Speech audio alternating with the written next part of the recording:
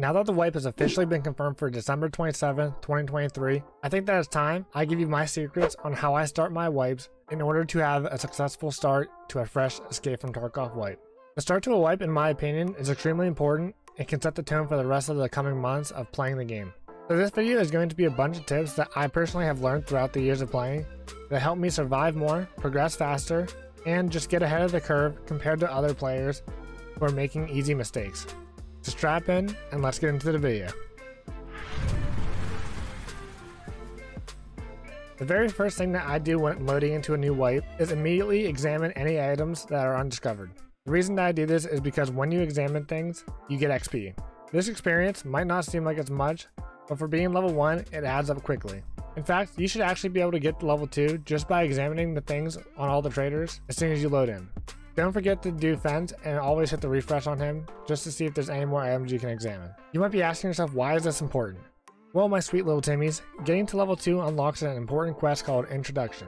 And when you get this quest, it is used to unlock the trader Jaeger. So that brings me to my main purpose in all of this, and that is being level 2 and getting that quest unlocked means that you can get right into woods on your first raid and get Jaeger unlocked. This is extremely important and you will already be ahead of the curve as most people will do their first raid to get to level 2, then do the introduction quest to unlock Jaeger.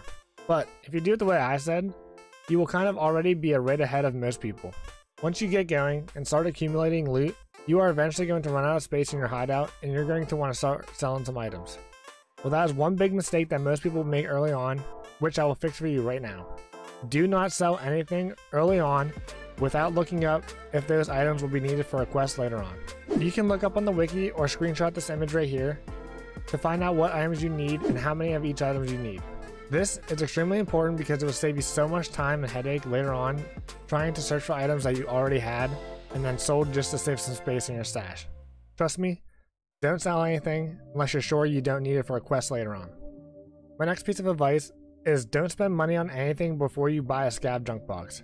Yes, this can be difficult depending on if you die and you need to buy some gear, but the Scav Junk Box should be your first major investment at the start of a new wipe. It's only about 1 million rubles and will be well worth it. This saves you so much stash space and will allow you to hoard quest items easier.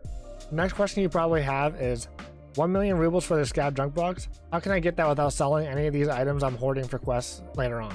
Well, that is simple. Once you mark down which items you already have for your quest, then you can start selling those items for money. Or one thing that I do to make up for that money is selling guns and attachments. Doing that will add up quickly and you can get that scav junk box faster than you think. The key is to try not to spend any money on unnecessary things until then. Okay, all those tips were just advice for the stash and traders. Now let's talk about being in a raid and how you can perform better on wipe day. The first and best piece of advice that I can give for wipe day is walk more than you run. Walking makes a lot less noise than sprinting does, and that noise is something that will get you killed or at least put you at a disadvantage because people will know where you are before you know where they are.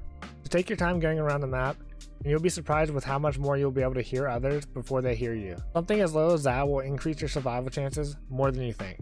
Another thing that has helped me is bringing more mags and ammo than I normally would. You will be shooting bad ammo and guns with a ton of recoil which means people are going to be eating your bullets and you're probably going to be missing a lot of shots. So being able to get into a gunfight and not have to worry about running out of ammo and packing your mags is a blessing that often goes unnoticed. Just bring one or two extra mags than you normally would and you should be alright. Speaking of getting into gunfights early wipe, the best advice that I can give is to prioritize your survival over loot. Yes, I know, greed always gets the best of us, but if you do manage to kill somebody, then oftentimes it's not worth it to loot those players unless you are in a safe area where there can't be any third parties.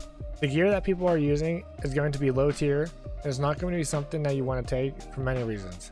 Being overweight, you need room for quest items and so on.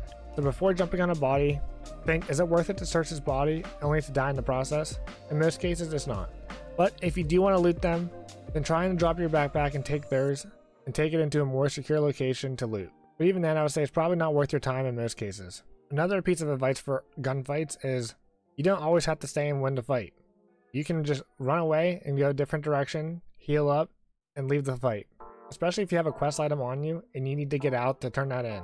Most cases, just toss a grenade, lay down some cover fire, and go the opposite direction. Despite what some people think, it is actually okay to retreat during a fight in this game. If you listen carefully, you might have already been able to figure out my next tip, and that is to insure your armor and gear. The reason that I think insurance is worth it early on in a wipe is because nobody has room for it or any desire to take your gear for the first couple weeks of a wipe. You become overweight and it's not really necessary to take gear unless it's high tier armor or a rig. Well, I hope that these tips can help some of you guys out starting this wipe to get you off on the right foot. If you managed to make it all this way to the end, be sure to drop a like and subscribe if you want to see more Tarkov content. Also, I do plan on streaming on Wipe Day, December 27th, over on Twitch, so be sure to come hang out while we progress to another wipe. Thank you all for watching, and as always, I'll see you in the next one.